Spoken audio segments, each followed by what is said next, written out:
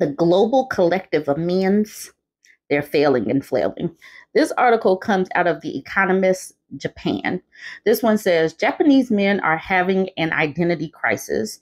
In Japan, women are empowered, men don't know what they are. Lord, this could probably be written for just about any country right now where women are doing well. Fukushima Mishi, Mishihito wanted to marry his girlfriend, but a decade ago he fell ill, had to stop working, and consequently broke up with her. I thought, if I can't support my family, I shouldn't get married, he recalls.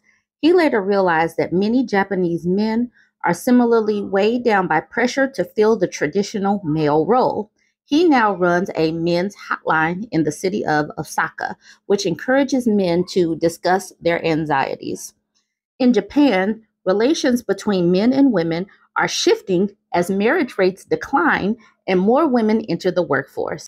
But the idea that men are breadwinners remains deeply entrenched. In 2022, only 17% of eligible men took paternal leave, I'm sorry, parental leave, compared with 80% of women.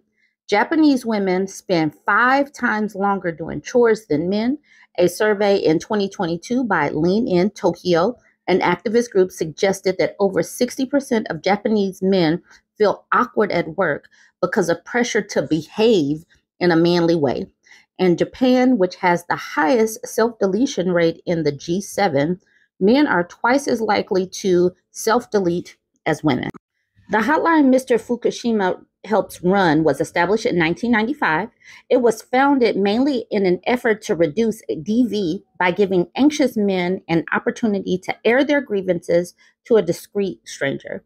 Since then, the hotline has received calls on an expanding range of concerns, including relationships, sexuality, and work.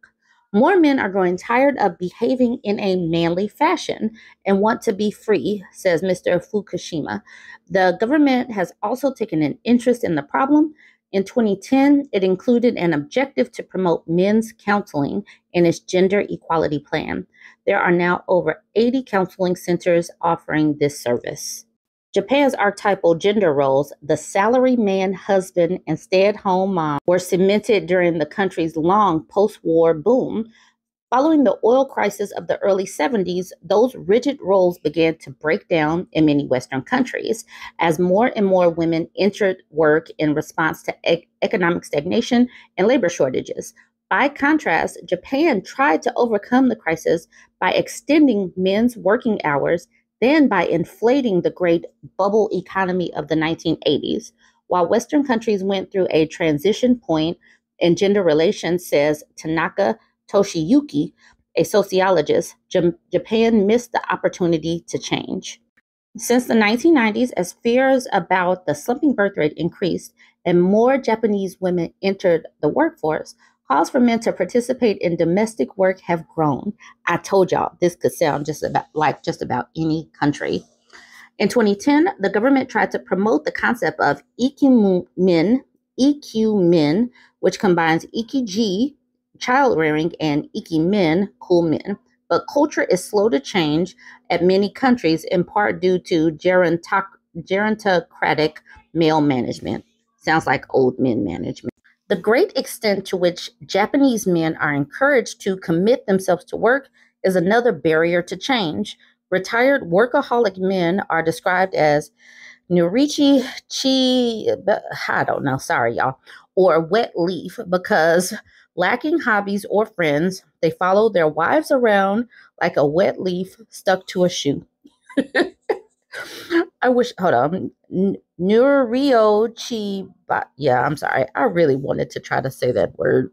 A Staple magazine article offers advice to wives suffering from a severe case of retired husband syndrome. For men, the pain of being considered a nuisance by their lifelong spouse can be immense. Mr. Fukushima laments that so many men sacrifice themselves for work to provide for their family only to realize later in life that they do not belong at home. Mr. Fukushima, who describes men's tendencies to assert their dominance as the armor of masculinity, hopes more men will feel able to show weakness, that it that is still not easy, he says. Some men who call the hotline quickly become aggressive, probably to hide their sense of humiliation.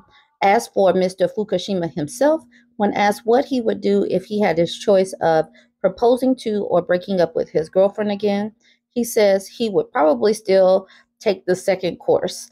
Even if I'm fine with the idea of being a disempowered husband, the question is, what would she think? What would people around us think? He says. Here are a couple of short clips that I found from TikTok on Japan and its population problem. Japan is facing a population growth problem. The country's population is shrinking and aging at a rapid rate. There are fewer babies being born and people are living longer, which means that there are few young workers to support the elderly population. However, no one can pinpoint to the reasons why this is happening. The declining population also leads to a decreased workforce and a shortage of skilled workers in various sectors.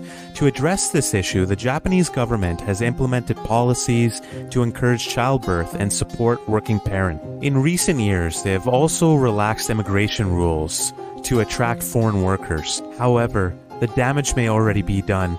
Reversing years of population decline requires very detailed strategies, improving work life balances, providing better childcare options, and also promoting long term economic growth. Whether Japan can actually reverse this remains to be seen. Japan is no longer the world's third largest economy. What does it mean for Japan? If you talk about just the population, the Japanese population has been declining since 2010. According to the data from the World Bank, it shows that 2010 was the peak year, with the population around 128 million. And in the year 2022, it was around 125 million. The rate of decline is in fact actually very steep. If you look at the graph, especially after the year 2020. The birth rate is very low. I mean, in order to sustain the population growth, the replacement fertility rate has to be on average 2.1, assuming that there's no immigration or emigration occurs. So in the year 2023, the Japan fertility rate is 1.26, which is extremely low and far from 2.1. Japan used to be one of the strongest country in Asia in terms of the economy, especially after the post-war period. Now it's declining. So according to the Japanese Prime Minister, a last chance for us to reverse the declining birth is before the young population is expected to decline drastically in year 2030, which is only six years from now. There are many reasons behind this. Some of the reasons are actually high cost of living with slow wage increment, typical Japanese corporate culture, poor job prospect, and of course there are many other reasons. So what do you think about low birth rate in Japan?